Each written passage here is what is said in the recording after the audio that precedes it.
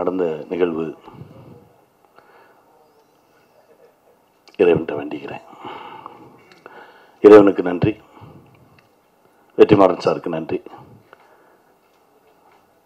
விசாரணைக்கு திடீர்னு ஒரு நாள் நைட்டு பன்னெண்டு மணிக்கு கூப்பிட்டாரு. எங்கே இருக்கீங்க? அப்படின்னு. ஆஃபீஸில் இருக்கேன். கொஞ்சம் வந்துட்டு போங்க. அப்புறம் போனோம். இதான் இதுதான் இதான் பண்ண போகிறோம் அப்படின்னாரு. ஓகே சார் உடனே போகலாம் சார். அப்படின்னா. அதே மாதிரி தான் சங்க தலைவனுக்கும் திடீர்னு ஒரு நாள் கூப்பிட்டாரு. எங்கே இருக்கீங்க? இங்கே இருக்கேன் சார். வாங்க. இது பண்ண போகிறோம் இது பண்ண போகிறோம் மணி தான் பண்ணுறாப்புல போகலாம் சார். அப்படின்னு கிளம்புனதான் மாப்பிள்ளை மாப்பிள்ளண்டா கருணாஸ் என் மாப்பிள்ளை சினிமாக்குள்ளே வர்றதுக்கு முன்னாடி சின்ன திரையில் இருக்கும்போதே நாங்கள் ரெண்டு பேரும் ஒன்றா சுற்றி இருக்கோம். அவர் சொன்ன அளவுக்கெல்லாம் பெரிய பில்டப்லாம் ஒன்றும் இல்லை. வெற்றி சார் கூப்பிட்டு குதின்னா குதிச்சிருவேன் அவ்வளோதான் அதுதான் எனக்கும் வெற்றி சாருக்கும் இடையில் இருக்கக்கூடிய ஒரு அன்பு நட்பு இந்த விஷயத்தை பற்றி நிறையா பேசியிருக்கோம் நிறையா பார்த்துருக்கோம். ஆனால் நான் வியக்கிற நட்பு வந்து வெற்றி சாருக்கும் மணி சாருக்கும் இருக்கக்கூடிய நட்பு தான். அதாவது மீரா சொன்ன மாதிரி ஒரு வெற்றி வந்தால் ஒரு நண்பனை பிரிவோம் அப்படின்னு சொல்லுவாங்க. அது உண்மை. நானும் அனுபவிச்சிருக்கேன். ஆனால் எத்தனை வெற்றிகள் வந்தாலும் அந்த கைப்பிடிச்ச நண்பனை விடாமல் இழுத்துட்டு ஓடுற வெற்றி இருக்குல்ல அந்த வெற்றி தான் வெற்றிமாறன் சார். ரொம்ப சந்தோஷமா இருக்கு சார். இதே மாதிரி இருக்கணும் சார். அது மாதிரி நிறைய நீங்கள் பண்ணணும். பாரதி சார் எழுதின இந்த படைப்பு தறிவுடன் அற்புதமான ஒரு படைப்பு ரொம்ப நேர்மையான ஒரு படைப்பு உண்மையான ஒரு படைப்பு. எங்கேயுமே பொய் சேர்க்காம அப்படியே அந்த ராவோட பண்ணணும் அப்படின்னு சொல்லி தான் மணி சார் பண்ணாங்க. அது எல்லாத்துக்கும் நாங்கள் உண்மையாக உழைச்சிருக்கோம். ரொம்ப நல்லா வந்திருக்கு. நிஜமான ஒரு பதிவு. எங்கேயுமே பவுடர் அடிக்காமல் இருக்கும் அந்த பதிவு. ரம்யா பண்ணுறாங்க அப்படின்னோடனே நான் சொன்னேன் சார் இவ்வளோ அழகாக இருக்காங்க இவ்வளோ கலராக இருக்காங்களே அப்படின்னா இல்லை இந்த மாதிரி புரட்சியாளர்களுக்கு எங்கேயாவது போகிற இடத்துல பரபரப்பான ஒரு சம்பவங்கள் செய்வாங்க புரட்சியாளர்கள். அப்போ ஏதாவது பெரிய வீட்டு பொண்ணு பார்த்துட்டு பின்னாடியே வந்துடும் அப்படி வந்த பொண்ணுன்னு நினச்சிக்கோங்க அப்படின்னாரு. அந்த மாதிரி தான் இருக்கும். கதையிலையும் நிறைய இடங்களில் துவண்டு விழும்போதும் தடுமாறும் போதும் சாதாரணமாக அப்படியே கை தூக்கி விட்டுட்டு போகிற ஒரு கேரக்டர் ரொம்ப நல்லா பண்ணியிருக்காங்க. சுனு லட்சுமி அவங்க அவங்களும் பிரமாவா பண்ணியிருக்காங்க.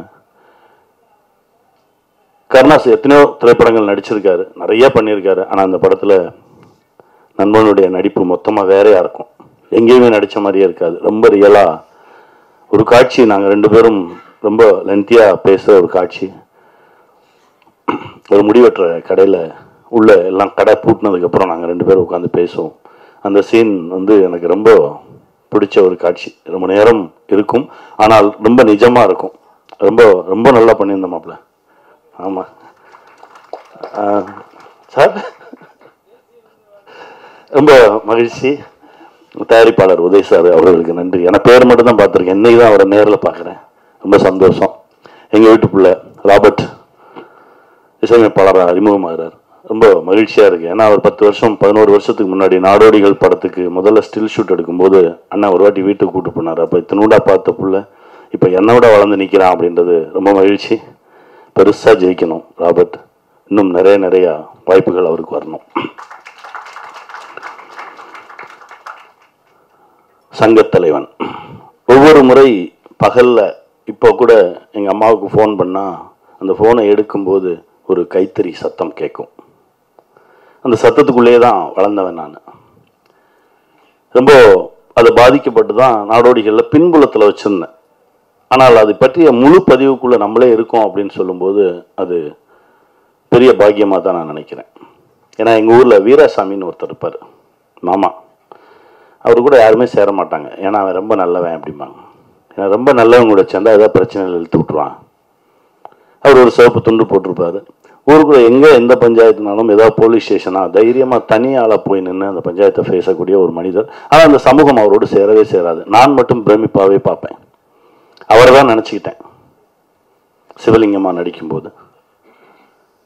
அவருக்கு கூட இந்த படத்தில் நான் நடித்த நிறைய விஷயங்கள் அவருக்கு கூட காணிக்கையாக கூட வச்சுக்கலாம். அப்படி தான் பார்க்குறேன்.